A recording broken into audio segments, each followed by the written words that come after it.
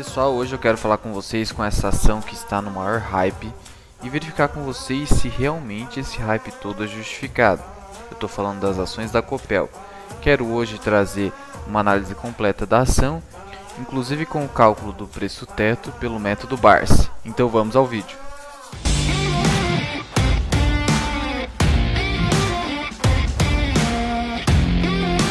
Salve! Bem-vindos a mais um vídeo! Vamos então falar da Copel que hoje está se tornando uma das queridinhas do mercado e ver se ela está tão barata quanto a maioria dos influencers, analistas, corretoras, etc. estão falando aí na mídia. Primeiramente, deixa eu já te adiantar que eu estou comprando ações da Copel. Atualmente disponho de 1.700 ações a um preço médio de R$ 6,25. Estou comprando nas ações preferenciais do tipo B, do código CPLE 6. Atualmente estou perdendo 2,65%. Primeiro vamos entender um pouquinho sobre a Copel, qual é a sua atividade, o que, que ela faz, como que ela ganha dinheiro. Vamos lá. A Copel é a Companhia Paranaense de Energia Elétrica. Ela atua nos sub-ramos de energia, geração, transmissão e distribuição de energia elétrica. O que isso significa? Que ela atua de forma integrada nos três principais sub-ramos do segmento de energia elétrica. Isso significa, em teoria, que investir em Copel você já está diversificando em todos os subsistemas de energia elétrica. Você sabe muito bem que existem companhias que apenas atuam ou na transmissão, como a Taesa, ou na geração, como a Engie, mas a Engie está expandindo, e outras na distribuição, como Energias do Brasil. Só que a Copel está muito bem posicionada nesses três subsistemas, o que é algo bem interessante. A Copel ela é uma das maiores companhias de energia elétrica do Brasil. Abriu seu capital na bolsa em 94 e foi a primeira empresa do setor elétrico a ser listada na Bolsa de Valores de Nova York. E desde 2002 também está presente na Europa. A Copel hoje atende mais de 4,8 milhões de unidades consumidoras em 395 municípios. Possui 45 usinas próprias, 19 hidrelétricas, uma termoelétrica e 25 eólicas. E mesmo possuindo esse tamanho todo, continua investindo, já que está em construção quatro parques eólicos, que vai ser o complexo de Jandaíra, e uma usina hidrelétrica, lá de Bela Vista. Na parte de transmissão e distribuição, conta com 7.877 km de linha de transmissão e mais de 200.478 km de linha de distribuição, sendo a terceira maior rede de distribuição do país.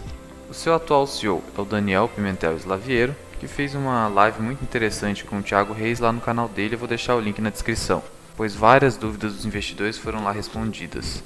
Inclusive a Copel venceu a Copa Suno, que foi também promovida lá no canal do Thiago. Algo importante a ser destacado é que embora a Copel esteja atuando nos três setores, ela depende muito menos distribuição, essa sigla diz, e mais do setor de geração e transmissão. Ainda bem que é dessa forma, porque você pode perceber que no que toca à distribuição houve uma queda no EBITDA enquanto que nos setores de geração e transmissão houve um aumento no EBITDA. Fazendo uma compensação aqui, a Copel conseguiu sair positiva, mesmo com essa crise hídrica que assola o estado do Paraná. A Copel, como vocês devem saber, é uma empresa estatal, logo, seu controle está nas mãos do estado do Paraná, havendo assim sempre um risco político e de eficiência inerente à gestão do estado. Contudo, em relação à Copel, essa atual gestão aparentemente tem valorizado o pequeno acionista, já que aumentou o payout dos dividendos e alterou o estatuto para dar mais segurança para o acionista minoritário, de forma que eu não vejo, pelo menos no curto e médio prazo, qualquer risco de ingerência indevida do Estado que venha prejudicar os pequenos acionistas.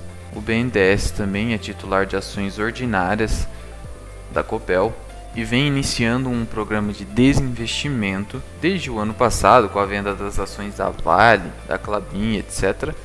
E provavelmente venderá a sua participação na Copel, o que não é algo ruim, já que o Estado se desfazendo de ações para o mercado é sempre algo muito bem visto. Obviamente que isso poderá eventualmente acarretar uma queda na cotação das ações da Copel, mas nada que venha a causar um grande prejuízo ao pequeno investidor e você como holder que pensa no longo prazo deve achar bastante interessante quando uma ação tem uma pequena queda ou às vezes uma grande queda, porque geralmente pode ser uma oportunidade.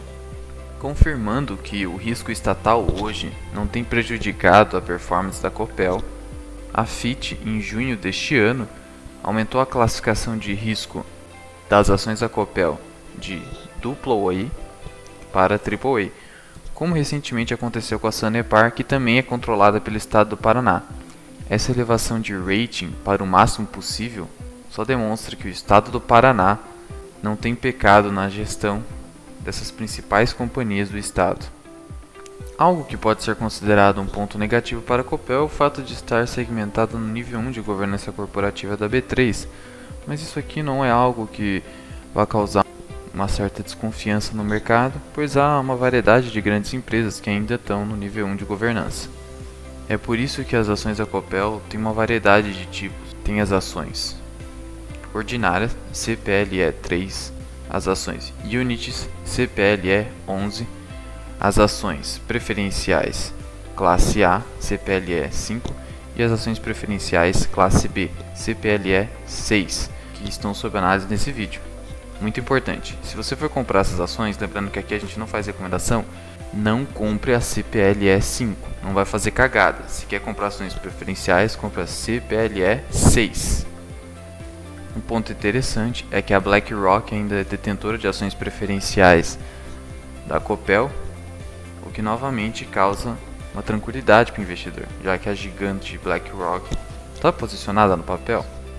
Atualmente, a Copel está recebendo inúmeras recomendações de compra, com preços alvos bem interessantes, por várias instituições financeiras, inclusive Bank of America, Credit Suisse, Goldman Sachs, JP Morgan, Morgan Stanley, UBS, XP, enfim, todas relacionadas a CPLE 6, como eu disse lá atrás. Fazendo-se uma média de todas essas recomendações, chegamos a um preço-alvo de consenso do mercado de R$ 7,40. Aqui não envolve o método Barsi de preço teto. São apenas as recomendações do mercado. O preço teto a gente vai calcular mais à frente. Algo muito positivo e promissor na Copel é a sua constante redução desde a atual gestão dos níveis de endividamento, ou seja, a alavancagem da companhia tem decrescido. Atualmente, pelo balanço do primeiro TRI de 2021, a relação dívida líquida sobre EBITDA, lembrando que EBITDA ou lágida significa em português lucro antes dos juros, impostos, depreciação e amortização. A relação está, portanto, na casa dos 1,2, o que significa que em um ano e dois meses, teoricamente, com base na geração de caixa da companhia, é possível liquidar todas as dívidas dela. Ademais, as dívidas da companhia hoje estão majoritariamente vinculadas ao CDI, o que é algo muito bom, já que o CDI com a taxa Selic ainda baixa também fica baixo, gerando um barateamento da dívida da Copel Vale ressaltar que, comparando-se os níveis de endividamento da Copel com seus principais concorrentes como Energias do Brasil e Engie, a Copel acaba levando a melhor, já que seu nível de endividamento é bem inferior. Veja que a Engie está numa relação de duas vezes e Energias do Brasil quase duas vezes. Ponto positivo que tem colocado a Copel na linha de frente em relação aos seus pares. Quanto aos resultados do primeiro TRI de 2021, a Copel teve um EBITDA ajustado de 1,4 bilhão de reais, uma alta de 12,9% em relação ao mesmo período do ano passado, e um lucro líquido ajustado de 795 milhões de reais, uma alta de quase 56% em relação ao primeiro trimestre de 2020. Pontos positivos, afinal, a receita da empresa e o seu lucro estão crescendo. A companhia, como dito, mesmo grande, tem investido e o seu capex está na casa dos 445 milhões no primeiro TRI. O payout, como eu disse, está hoje na casa dos 65% do lucro líquido, substanciais dividendos de 2,5 bilhões de reais. Quanto ao foco dos investimentos atuais da Copel, ela tem focado na distribuição, apesar de que hoje ela depende muito menos da distribuição, como já dito anteriormente. E também ela quer concluir as obras das suas usinas de geração e transmissão. As margens da companhia também estão bastante interessantes. Veja que a margem EBITDA tem apresentado 26,1%, a margem operacional 20,6% e a margem líquida quase 16%. Com essa margem aqui, a Copel tem dado uma surra na Energias do Brasil. Importante destacar que a Copel hoje, para gerar mais eficiência, tem focado as suas operações e promovido um desinvestimento na Copel Telecomunicações. Ela quer sair cada vez mais do setor de telecomunicações. Ao que parece é muito difícil de concorrer e manter boas margens com as empresas hoje já estabelecidas no mercado, como a Vivo, a própria Oi, a TIM, etc. Então está fazendo muito bem a Copel, já que você não tem que ficar dando murro em ponta de faca e insistindo numa atividade que não vai lhe trazer bons retornos. O capital social hoje da Copel está calculado em 10,8 bilhões de reais e o dividend yield dos últimos 12 meses está na casa de quase 17%. As ações preferenciais estão ali na casa dos R$ reais, o que dá uma valorização de quase 14%, ou seja, uma valorização bem tímida em relação aos últimos 12 meses, enquanto o Ibovespa subiu mais de 25% nesse período. Importante ressaltar que essas ações preferenciais tipo B têm uma boa liquidez, já que tem uma negociação diária média de quase 45 milhões de reais e tem participação no Ibovespa de 0,15%. Quanto aos principais indicadores de valuation, a Copel está com um notável desconto na relação EV-EBIT. EV, para quem não sabe, é o valor de firma, é o Enterprise Value, e o EBIT é o lucro antes dos juros e impostos. É basicamente o lucro operacional da companhia. O valor patrimonial acima dos R$ 7,00, outro ponto que denota desconto. Quanto ao PL, só um adendo. Esse PL de 3,90, na verdade, ele não está considerando os efeitos não recorrentes do lucro de 2020 da companhia. Por quê? Porque 1 bilhão de reais do lucro de 2020 refere-se a uma ação na justiça que a Copel ganhou contra a União para obter de volta piscofins pagos a maior. Só que esse dinheiro vai acabar voltando para os consumidores. Então, além de ser efeitos não recorrentes, não vai ficar com a Copel. Então o PL aqui seria próximo de 5. Ainda assim, é outro indicativo de que a ação está barata. A média do payout dos últimos 10 anos da Copel é próxima de 40%. Então esse payout de 65% que tem sido apresentado é realmente um salto muito promissor em relação aos investidores. A Copel, no seu histórico dos últimos 10 anos, tem apresentado uma receita crescente e lucros igualmente crescentes. Só de novo um destaque aqui para 2020 esse lucro líquido extraordinário de quase 4 bilhões de reais, você tem que descontar 1 bi relacionado aos efeitos não recorrentes. De modo que o lucro líquido ordinário da companhia seria de quase 3 bi. Se você pegar aqui o lucro que apresentou no primeiro TRI de 2021 e multiplicar por 4, já que são 4 balanços, teremos um lucro acima de 3 bi, o que vai significar na prática que é um resultado maior que o do ano anterior, excluindo os efeitos não recorrentes. Finalmente, vamos então calcular o preço teto das ações pelo método BARS. Em um cenário conservador, considerando a média de lucro dos últimos 5 anos, temos um resultado de 1,7 bilhão de reais. Considerando então o payout atual de 65%, e uma proporção de ações preferenciais de 60% no total do capital social da companhia, verificamos um payout final das ações preferenciais de 660 milhões de reais. Isso dá um provento por ação de 40 centavos. E finalmente, dividindo-se o provento por ação sobre o dividend yield, deve ser perseguido pelo acionista segundo o BAR de 6%, temos um preço teto neste cenário de R$ 6,70, um upside de aproximadamente 12% nas cotações atuais. Até uma boa margem de segurança, isso no cenário conservador. Agora, se a gente substituísse esse dividendo por ação de 40 centavos pelo dividendo atual de 96 centavos por ação, o preço teto subiria para 16 reais, um upside de mais de 100%. Mas não conte com isso, porque foi dividendo extraordinário e obviamente isso não vai ser mantido é, por muito tempo. Já num cenário mais atual, considerando o resultado do primeiro de 2021, e multiplicando-se o lucro líquido apresentado por 4, projetando-se então um possível resultado de 2021, teríamos um lucro de 3,12 bi, com payout de 65% seria 1,2 bi por ação preferencial do tipo B, o que daria um provento por ação aproximado de 72 centavos. Realizando-se então a divisão, teríamos um preço teto de 12 reais, um upside de quase 100%.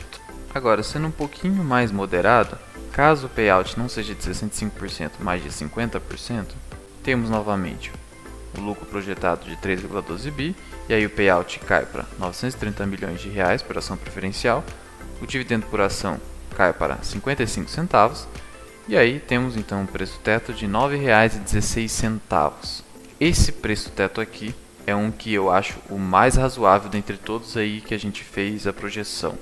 Sempre lembrando de novo que eu não estou fazendo uma recomendação, apenas mostrando dados para você tomar sua própria decisão de investimento. O que a gente percebe diante de tudo isso é que a Copel tem apresentado uma margem de segurança ímpar no mercado. Veja que o PL dela, mesmo próximo de 5, é bem inferior ao da Engie e da Energias do Brasil, e a relação preço-valor patrimonial também é muito abaixo. De novo, denota desconto em relação aos seus pares. Concluindo com uma breve análise técnica em relação ao desempenho do papel no Price Action, no gráfico semanal percebemos que a ação está numa clara tendência de alta, formando inclusive uma linha de tendência de alta em um canal de alta. Atualmente o preço está justamente aqui no suporte deste canal, que, para os grafistas, é uma região de compra. Para chegar no suporte desse canal, obviamente que o preço decresceu próximo de 7, 8%, só que o volume tem caído também, o que obviamente é um sinal de que a pressão vendedora está se exaurindo, mais um sinal de que haveria aí um suporte. No mais, o preço se encontra muito próximo das médias móveis de 21 e 9 períodos, está distante há muito tempo da média móvel de 200 períodos, porque realmente a ação tem apresentado um desempenho muito bom desde o ano de 2018, justamente ali em 2019 quando houve a troca de gestão, então a performance da empresa subiu sobremaneira. No mais, até a máxima histórica ainda há 12, 13% é justamente aquela margem de segurança do nosso cenário mais conservador que a gente projetou ali pelo método BARS. Agora diz aí para mim, investidor, você investe na Copel? Ela não é uma empresa tão conhecida ou tão modinha quanto Taesa ou Transmissão Paulista ou mesmo a Indy, mas hoje talvez seja uma das grandes oportunidades da Bolsa de Valores brasileira, principalmente ali nos 125, 130 mil pontos, onde já se tem falado que não há mais oportunidades. Saiu um vídeo recente aí do Economista Sincero dizendo que não há mais nenhuma barganha na Bolsa nesse, nessas cotações. Mas você concorda com isso? Diz aí para mim nos comentários. Nós não concordamos com essa opinião, já que se você pensa em dividendos, a Copel, Banco do Brasil, até mesmo a Sanepar e algumas outras empresas, tem apresentado um valuation bastante interessante mesmo com o Ibovespa nas suas máximas históricas. E se você quer acompanhar qualquer novidade relacionada à Copel e as principais ações aí do setor perene que tem apresentado desconto na bolsa, já vai se inscrevendo aí no canal. E obrigado por ter ficado comigo no vídeo até aqui. Eu sou o Luan, esse aqui é o canal Mirar Investing. Até o próximo vídeo. Fui!